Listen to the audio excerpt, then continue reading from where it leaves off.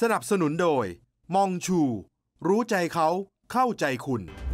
จากกรณีในโลกโซเชียลมีการแชร์คลิปลูกสาวได้มอบของขวัญให้คนเป็นแม่ด้วยโฉนดพร้อมกับพวงมาลัยดาวเรือง ลูกสาวได้พาแม่มายืนอยู่ณจุดเดิม ที่ดินที่แม่เคยขายทิ้งไปเมื่อ 20 ปีที่แล้ว จนกระทั่งลูกสาวได้ตั้งใจทำงานเก็บเงิน เพื่อซื้อที่ดินผืนนี้คืนแม่ หลังจากที่แม่จำเป็นต้องขายที่ดินผืนนี้ไปก็เพราะด้วยหนี้สินโดยผู้ใช้ TikTok รายหนึ่งซึ่งเป็นเจ้าของคลิปดังกล่าวได้โพสต์คลิป พร้อมข้อความประกอบว่า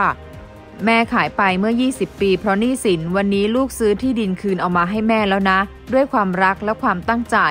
โดยคุณเพนนภาซึ่งเป็นเจ้าของคลิปได้เล่าว่า ในคลิปเราพาคุณแม่มาที่ไร่มันสำปะหลัง ซึ่งที่ดินผืนดังกล่าวนี้เมื่อ 20 ปีก่อนเคยเป็นของแม่ แต่จำใจต้องขายเพราะต้องหาเงินมาเลี้ยงดูส่งเสียลูกๆที่มีอยู่ 4 คน ก่อนที่เธอจะพาแม่มายืนบนที่ดินผืนเดิมของแม่ และได้มอบโฉนดที่ดินกับพวงมาลัยดอกดาวเรืองให้แม่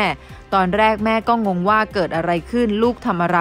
สุดท้ายลูกสาวก็เฉลยว่าโฉนดที่ดินผืนนี้เป็นสิ่งที่แม่อยากได้ และลูกได้นำกลับมาคืนให้แม่แล้ว สุดท้ายแม่ก็ยืนไม่อยู่ ขณะนี้ตนเองอยู่ที่ประเทศอังกฤษ คลิปดังกล่าวเกิดขึ้นเมื่อหนึ่งปีที่ผ่านมา ซึ่งตนเองนั้นตัดสินใจวางแผนซื้อที่ดิน 3 ไร่ 1 งาน พร้อมซื้อที่ดินใกล้เคียงเพิ่มอีกหนึ่งไร่ รวม 4 ไร่ 1 งาน ซึ่งเป็นที่ดินที่แม่ได้รับมรดกมา ที่ดินผืนนี้อยู่ที่อำเภอชำนิ จังหวัดบุรีรัมย์ซึ่งแม่ตนเองได้นำที่ดินผืนนี้ไปขายเมื่อราว 20 ปีก่อน พื่อนำเงินมาเลี้ยงดูลูกซึ่งมี 4 คน ส่งเสียลูกมาจนโต